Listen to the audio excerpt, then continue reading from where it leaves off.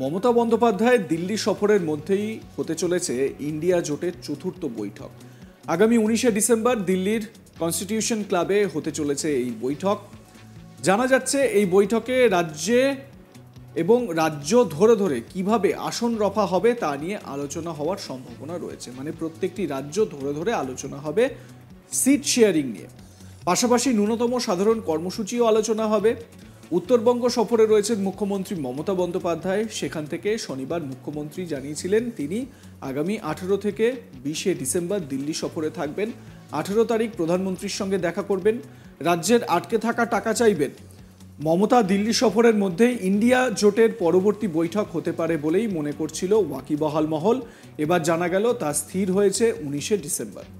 মনে করা হচ্ছে, লোকসভা নির্বাচনের আগে বিজেপি বিরোধী জোটকে আরও মজবুত করতে ও পরবর্তী পরিকল্পনা স্থির করতেই এই বৈঠকের আয়োজন।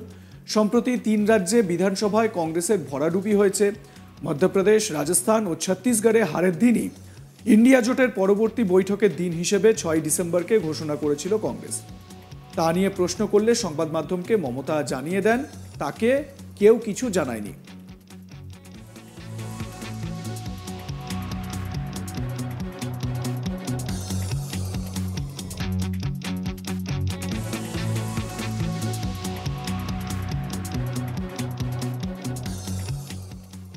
তার উপর তিনি সেই সময় উত্তরবঙ্গ সফরে থাকবেন। তাই তিনি বৈঠকে উপস্থিত থাকতে পারবেন না, এটা আগেই জানিয়েছিলেন মমতা বন্দ্যোপাধ্যায়, যেই সময় এই ইন্ডিয়া জোটের বৈঠক সম্পর্কে আলোচনা হচ্ছিল। যদিও সেই সময় সেই বৈঠকের দিন থেকে পিছিয়ে আসে, যেটা ছয় ডিসেম্বর হওয়ার কথা ছিল। শুধু মমতা বন্দ্যোপাধ্যায় নন ছয় ডিসেম্বরের বৈঠকে থাকতে পারবেন না বলে জানিয়ে দিয়েছিলেন নীতিশ কুমার, হেমন্ত সোরেনরাও। শেষ পর্যন্ত সেই বৈঠক স্থগিত রাখা হয়। বৈঠকের বদলে সংসদীয় দলের নেতাদের নৈশভোজের কর্মসূচি স্থির করে কংগ্রেস। সেখানে অনুপস্থিত ছিলেন তৃণমূল নেতারা। এবার ফের বৈঠকের দিন স্থির করা হয়েছে আগামী উনিশে ডিসেম্বর। এখন মনে করা হচ্ছে বিভিন্ন রাজ্যের শরিকদের নিয়ে আসন সমঝোতাই ইন্ডিয়া জোটের পরবর্তী বৈঠকের মূল লক্ষ্য। পাশাপাশি কমন মিনিমাম প্রোগ্রামও স্থির করা হবে। এমনিতেই মহুয়ার বহিষ্কার ইস্যুতে ক্রমাগত মহুয়াকে সমর্থন করে গিয়েছে কংগ্রেস। অধীর চৌধুরী শুরু থেকেই প্রতিবাদ জানিয়ে এসেছেন। বহিষ্কারের দিনও সংসদের বাইরে সংবাদ মাধ্যমকে প্রতিক্রিয়া দেওয়ার সময় মহুয়ার পিছনে ঠায় সোনিয়া গান্ধীকে দাঁড়িয়ে থাকতে দেখা যায়। তারপরই মমতা বলেন ইন্ডিয়া জোট যে রকমভাবে মহুয়ার পাশে দাঁড়িয়েছে, তাকে স্বাগত জানাচ্ছি। এই জোট অটুট রাখতেই হবে। আবার তিন রাজ্যে কংগ্রেসের ভরাডুবির পরও মমতা বলেছিলেন, হয়তো জোটের পক্ষে ভোটে লড়লে এতটা খারাপ ফল হতো না। এসবের মধ্যেই মনে করা হচ্ছে, আগামী বৈঠকে আসন সমঝোতাই হতে চলেছে মূল বিষয়। মূল মন্ত্র ঠিক হতে পারে মায় নেহি হাম, অর্থাৎ কেবল আমি না, আমরা। তো এটা হচ্ছে সার্বিক একটা দিক। কিন্তু এইবারে সিট শেয়ারিং যেই সিট শেয়ারিং নিয়ে মমতা বন্দ্যোপাধ্যায় বারবার করে বলে আসছিলেন এবং তিনি বলছিলেন যে একের বিরুদ্ধে এক প্রার্থী দিতে হবে। মানে বিজেপির একজন প্রার্থীর বিরুদ্ধে ইন্ডিয়া জোটের একজন প্রার্থীকে দাঁড় করাতেই হবে। এবং তার জন্য এই সিট শেয়ারিং ভীষণ রকমভাবে গুরুত্বপূর্ণ।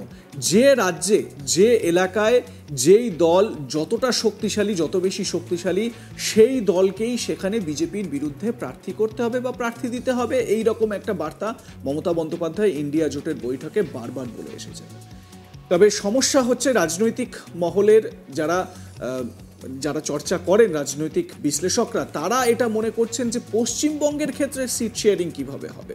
তার কারণ ইন্ডিয়া জোটে বা এই যে ইন্ডি জোট, এই ইন্ডি জোটে তৃণমূল কংগ্রেস রয়েছে, তৃণমূল কংগ্রেসের পাশাপাশি সিপিএম এবং কংগ্রেসও তো রয়েছে। এ রাজ্যে কংগ্রেস বা সিপিএম কি তৃণমূলের সঙ্গে আসন সমঝোতায় রাজি হবে বা সিট শেয়ারিংয়ে রাজি হবে? এটাই এখন সব থেকে বড় প্রশ্ন। যদিও এই মুহূর্তে যদি আমরা বঙ্গ কংগ্রেসের অবস্থাটা দেখি, তাহলে প্রদেশ কংগ্রেস নেতৃত্ব তৃণমূল কংগ্রেসের প্রতি কিছুটা সফট একটা অবস্থান নিয়েছে। আপনারা প্রদেশ কংগ্রেস সভাপতি অধীর চৌধুরীর বিভিন্ন বক্তব্য যদি শোনেন বিভিন্ন সময়, তাহলে সেটা থেকে কিন্তু এটা মনে হচ্ছে সাম্প্রতিক সময়ে তার বক্তব্যগুলো থেকে যে অবস্থান কিছুটা নরম। কিন্তু অবস্থান নরম হলেও সিট শেয়ারিং কি সম্ভব হবে? মানে যদি কোনো জায়গায় কংগ্রেসের ক্ষমতা সেখানে যদি বেশি থাকে, তাহলে সেখানে কি কংগ্রেস তৃণমূলকে সিট ছাড়তে রাজি হবে? এরকমও একটা বিষয় কিন্তু স্বাভাবিকভাবে রয়েছে, যেখানে কংগ্রেস নেতৃত্ব, কৌস্তব বাগচির মতন নেতারা এবং কংগ্রেসের আরও অনেক নেতাই, যারা বারবার বলে আসছেন যে লড়াইটা যেরকম বিজেপির সঙ্গে, ঠিক সেরকম তৃণমূল কংগ্রেসের সঙ্গেও কেন্দ্রে যদি বিজেপির বিরুদ্ধে লড়াই হয়, তাহলে রাজ্যে অবশ্যই তৃণমূল কংগ্রেসের বিরুদ্ধে লড়াইটা তাদের। অন্যদিকে যদি সিপিএম এর কথা বলি, তাহলে সিপিএম ইন্ডিয়া জোটে থাকলেও বরাবরই কিন্তু তৃণমূল কংগ্রেস বিরোধী অবস্থান তারা নিয়ে এসেছে এবং তৃণমূলের বিরুদ্ধে পথে নেমে তারা আন্দোলনও করেছে, আন্দোলন সংগঠিত করেছে এবং তৃণমূলের সঙ্গে সিট শেয়ারিং কোনোভাবেই নয়। এই পলিসিতেই কিন্তু এখনও পর্যন্ত সিপিএম একেবারে অটুট রয়েছে। স্বাভাবিকভাবে এখান থেকেই প্রশ্ন হচ্ছে যে এই সিট শেয়ারিং যে ফর্মুলার কথা বলা হচ্ছে, এই সিট শেয়ারিংটা হবে কীভাবে?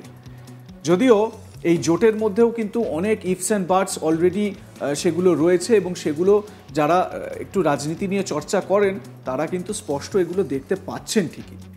আপনারা কি মনে করেন? কমেন্ট সেকশনে জানান আপনাদের মতামত। দেখতে থাকুন আজ তাক বাংলার ইউটিউব চ্যানেল সাবস্ক্রাইব করে নিন চ্যানেলটি। বেল বাটন প্রেস করতে ভুলবেন না।